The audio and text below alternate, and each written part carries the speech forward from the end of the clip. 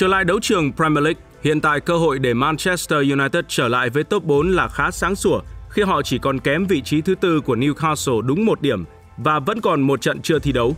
Với 23 điểm có được sau 12 lượt đấu cùng chuỗi 8 trận bất bại hiện tại, Quỷ đỏ tràn trề hy vọng và tự tin đến làm khách trên sân Villa Park của Aston Villa vào chủ nhật tới. Đây cũng sẽ là màn ra mắt của huấn luyện viên Unai Emery với tư cách là tân thuyền trưởng của đội bóng đến từ Birmingham. Hai đội bóng sẽ đụng độ nhau trong hai trận đấu liên tiếp. Lần tiếp theo sẽ là trên sân Old Trafford sau đây ít ngày trong khuôn khổ vòng 3 Carabao Cup. Tại buổi họp báo nhanh trước trận, huấn luyện viên trưởng của Manchester United Erik ten Hag đã tỏ ra không chắc chắn về sự trở lại của bộ ba trên hàng công Anthony, Jadon Sancho và Anthony Martial. Cả ba đều đã vắng mặt trong chuyến hành quân đến Tây Ban Nha hồi giữa tuần vừa rồi của đội bóng. Ngoài ra, Bruno Fernandes cũng không thể góp mặt sau khi anh đã nhận đủ 5 thẻ vàng cho đến thời điểm này của mùa giải. Việc lựa chọn Harry Maguire hay Victor Lindelof để đá cặp với Lisandro Martinez cũng sẽ là một vấn đề mà thầy Mười khó phải giải quyết trước trận đấu tới. Sau đây sẽ là chi tiết buổi họp báo trước trận đấu. Mời quý khán giả cùng Random Football theo dõi.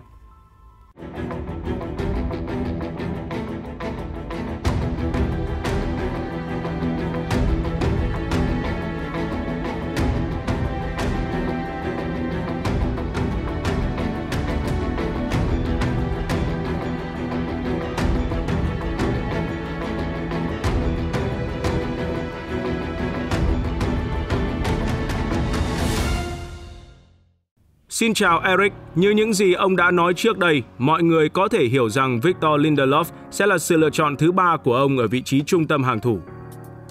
Tôi sẽ phải cân nhắc điều đó. Lựa chọn một người thay thế phù hợp vào lúc này là một điều không dễ chút nào. Là huấn luyện viên, tôi sẽ cần phải quan sát việc luyện tập và phân tích đối thủ để lựa ra một đội hình phù hợp. Nhưng như tôi đã nói, Lisandro và Victor đã có sự kết hợp khá ăn ý. Cả Harry Maguire cũng thể hiện rất tốt vào chủ nhật tuần trước khi đối đầu với West Ham United đội bóng không để lọt lưới bàn nào và cặp đôi trung vệ đã có màn trình diễn hay. Tôi sẽ phải đưa ra sự lựa chọn của mình, nhưng không phải để hai người họ đối đầu với nhau, mà chỉ là tìm ra nhân sự phù hợp nhất cho đội hình trong trận tới. Danh sách triệu tập cho đội tuyển Anh sẽ được công bố vào tuần tới, còn 3 trận đấu trước mắt để các cầu thủ thể hiện. Ông sẽ cho Harry Maguire cơ hội được chứng tỏ bản thân trên sân để tăng thêm khả năng được gọi lên tuyển chứ? Hay đó không phải là vấn đề mà ông lưu tâm vào lúc này? Tất nhiên, ưu tiên trước hết của chúng tôi phải là giành chiến thắng tại câu lạc bộ, tại Manchester United. Và với những chiến thắng đó, huấn luyện viên đội tuyển Anh sẽ có thể lựa chọn nhiều hơn các cầu thủ trong đội hình này cho chiến dịch World Cup sắp tới.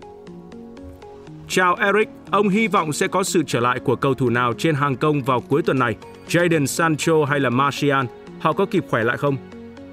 Vẫn khá khó để nói vào thời điểm này, tôi phải trao đổi với đội ngũ y tế trước đã. Họ đã thực hiện một số chương trình luyện tập riêng Giờ thì cần các đánh giá chuyên môn về quá trình phục hồi và khả năng có mặt của hai cầu thủ đó vào chủ nhật này. Chắc chắn là Bruno sẽ vắng mặt vào trận đấu này. Ông có thể chia sẻ về ý tưởng vận hành chiến thuật mà không có cậu ấy trên sân không? Donny van der Beek, liệu có thể là một sự thay thế phù hợp? Đúng là chúng tôi sẽ phải tìm ra phương án thay thế Bruno Fernandes trong trận đấu này. Đội bóng chỉ vừa trở về từ Tây Ban Nha. Tôi còn ít nhất là một đêm để cân nhắc về điều đó. Chắc mọi người cũng hiểu tôi sẽ phải suy nghĩ thêm. Một câu hỏi về Van der Beek thưa ông, liệu rằng đến một thời điểm nào đó chúng ta phải chấp nhận rằng Man United không phải là một nơi thực sự phù hợp với cậu ấy? Chuyện không hẳn là như vậy. Tiền mùa giải Van der Beek đã chơi hay, cậu ấy không may dính chấn thương và mới trở lại vào tuần trước thôi. Với 60 phút trên sân thì đó là một màn trình diễn khá tốt.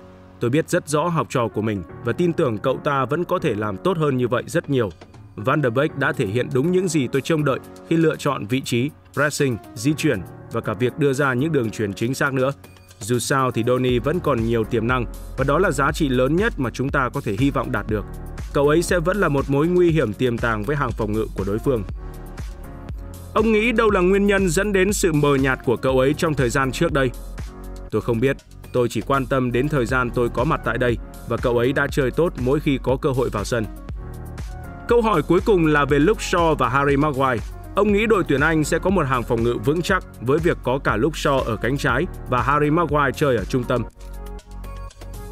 Ồ tất nhiên rồi, đội tuyển Anh là một ứng cử viên cho chức vô địch World Cup nhờ vào một đội hình rất mạnh và đồng đều. Tôi cũng sẽ theo dõi và ủng hộ họ. Quý khán giả vừa theo dõi một sản phẩm của Random Football. Hãy cho chúng tôi biết cảm nghĩ của các bạn bằng cách để lại bình luận ở bên dưới. Nếu hứng thú với video này, hãy ủng hộ đội ngũ sản xuất của Random Football bằng cách nhấn like và subscribe đăng ký theo dõi, cũng như bật chuông thông báo để không bỏ lỡ những video mới nhất trên kênh nhé. Còn bây giờ, xin chào tạm biệt và hẹn gặp lại.